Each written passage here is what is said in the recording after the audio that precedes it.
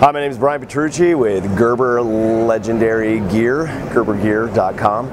Uh, product manager for tools, uh, and we have a great story here to tell. As the number one provider of knives and tools to the U.S. military, we're expanding on those products that address the uh, firearms and weapons maintenance needs in the field. Uh, the first product I'm excited to introduce is the Short Stack. Uh, we know that just walking around here at SHOT Show, it's evident that designing and furnishing and dressing up your AR to meet your own individual needs is, is paramount. But if you don't have an operating firearm, then all of those bells and whistles don't mean anything. So with the short stack, the short what stack we've done, all of the necessary field uh, implements into one small tool. The unique thing about this is if you look at any of the Magpul, um, MIAD, MOE, K2 grips, is that the short stack fits into each of these. Um, so while in the field, you can properly address any uh, any cleaning issues or even tightening down uh, some of the most common areas that be may become loose.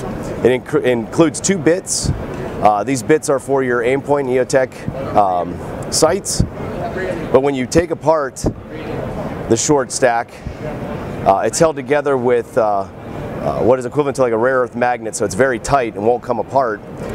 When you pop off the first arm, what you have is a unique cleaning tool. This cleaning tool includes a, a bolt carrier scrape, a 4 mil driver for those bit tips, and then an open channel right here that you could fish through a barrel snake and get a T-grip and, and, draw through. Uh, on the other side of this uh, uh, of the uh, of the arm, you have a threaded portion, and what you could do is thread on, which is not included, a brush. It's for uh, for more detailed cleaning. Now this is an important part of the tool because what it allows you to do is connect to the other parts of the short stack. When you snap this in place, you have an open three quarter inch uh, wrench. And where that comes into play is on the, on the flash hider of your gun, uh, of your AR, you can lock down and this gives you that leverage to tighten or loosen uh, as you see fit. Now when you walk around all the other implements, again we've maximized the footprint to put as many tools, necessary tools as we can. You have a front sight post adjuster. You have your windage elevation right here.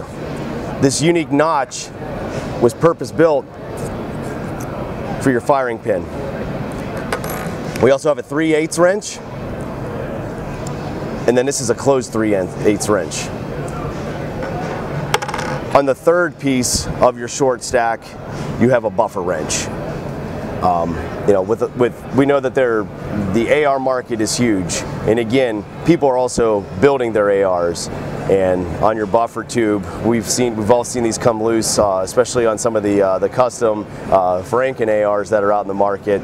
Um, this allows you to address any any uh, loose castle nut in the field. Uh, also has a quarter inch driver here, half inch drive on this side, and again that same 3 8 closed wrench. Um, the short stack again snaps quickly back into place so you can resume your day at the range or in the field.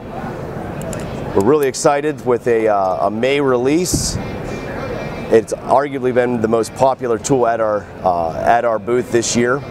Uh, this is the Gerber Short Stack, one that we're excited to bring to market, proudly built in Portland, Oregon.